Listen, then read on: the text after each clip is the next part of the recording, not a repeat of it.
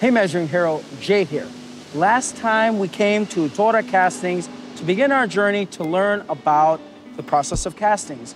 Today we want to finish that journey and so we came back to Toora Castings, this time a different facility, but we're here again with Simone. Simone, once again, thank you for uh, teaching us about the wonderful world of die casting.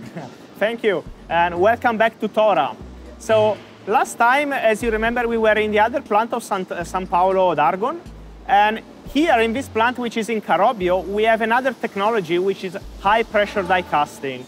Uh, and also we have the, the department where we uh, machine the pieces. Okay, okay. Now, so here we're gonna learn about high pressure, uh, but can you explain to us what's different and what's the same from what we saw last time, which was gravity and low pressure? Okay, uh, many things you will find exactly the same because as Toora, since we are certified as IATF, we are required to follow certain procedure and since many uh, stages of the process are the same, we, uh, we apply the same procedures. So for example, okay, here in Carobbio de Angeli we have only two alloys, while in Sao Paulo we had three. But, but regarding, for example, how we, we treat them, how we color code, how we uh, put them in the furnace, it is just the same. What it, really changes, it, is the technology that we use to cast the pieces. Because in San Paolo, we have only gravity and low pressure, while here high pressure means that we apply a huge amount of pressure to force the aluminium, the, the molten aluminium to, to flow inside the die. And also we use a vacuum system to suck out air to facilitate the, the filling of, of the die. Also in this technology, it is harder and we do not use sand cores to, to fill the pieces, but there are other, other technologies uh, that are useful to create different shapes. So when you compare low pressure and gravity with high pressure die casting, you don't really have to, to see them as one technology which, which competes against the other. Actually, they, they fill two different needs according to the geometry of the piece and to the requirement of the customer. Okay, okay. Now, you mentioned that doing high pressure has a much higher throughput, right? Uh, higher, sorry? Uh, more pieces get generated oh, exactly. uh, at a time, right? So how, um, how do you keep up with uh, such a high pace? A big difference of high pressure die casting from gravity die casting is that here the ratio of production is much faster. Therefore, first of all, the pieces cannot be removed from the, from the die by the operator because this process would be too slow and the operator would not be able to keep up with the, with the production rates. So we have an automatic arm which takes the pieces out from the die and it quenches them in water. And by doing so, there is also a, a laser check uh, which uh, inspects some of the parts, checking whether the piece is, uh, is complete or not. If it is not, it is already automatically scrapped. And also the machine is able to automatically scrap the pieces.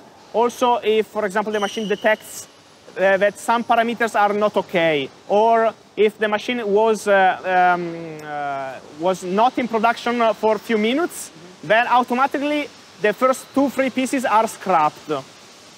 Then, anyway, after the quench, if the pieces are compliant, are taken from the robot arm directly to the trimming tool. And this is another difference uh, with respect of gravity die casting, where the cut was, was performed manually in another department.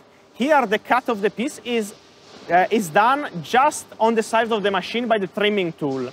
Then the robot takes out the pieces from the trimming tool and gives them to the operator, which performs a visual check with a magnifying glass. And also we have uh, an automatic control with, with a machine on the side, which checks, for example, whether uh, the, the, in, uh, the inner channel is empty or not. There is an, another laser sensor which does that. Then the pieces are separated from uh, the, um, for for die and for the cavity of the dies, because in, in uh, high pressure, we often have multiple cavities in the same die, and then they are shipped to, to the next uh, stage. Got it, got it. All right, do you do any, uh, any periodic checks on uh, premises during the high pressure, uh, like you did over in uh, Absolutely. the other one? Absolutely.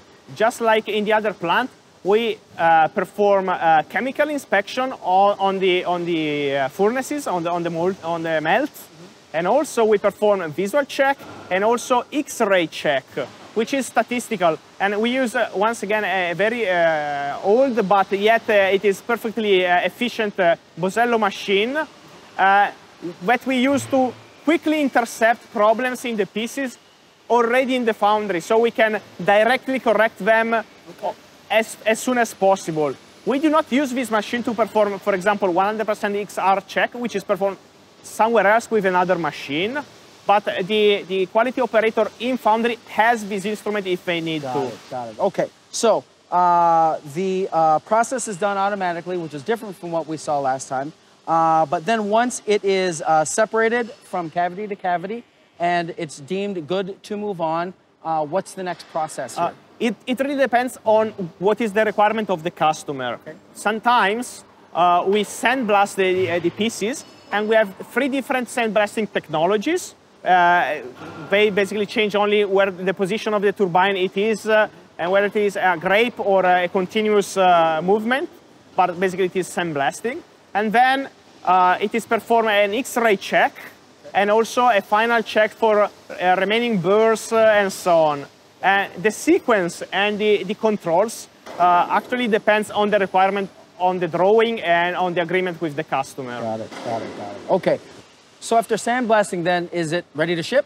It depends. It depends on the customer because on the, in the past we were used to supply our customer with the raw parts, but nowadays we are moving towards, and we think that the future of Toora is to supply to the final customer uh, pieces which are already machined, assembled, and tested. So uh, on the order projects, uh, yes, we, we supply them like that.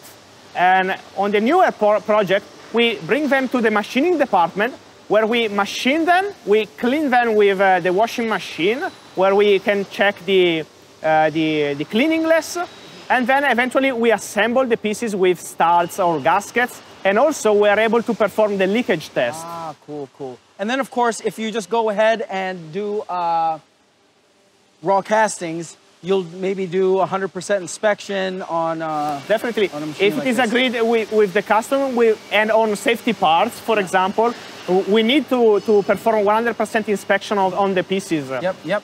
And again, thank you for choosing ZEISS, uh, Bosello ZEISS machines. You're welcome. For the quality of your. This is actually part. a very new machine. We have bought it last year, and uh, so far it is perfect. So thank you once again for your time, uh, explaining to us a little bit about Toora Castings and to teach us about what it takes to be a high-end casting manufacturer.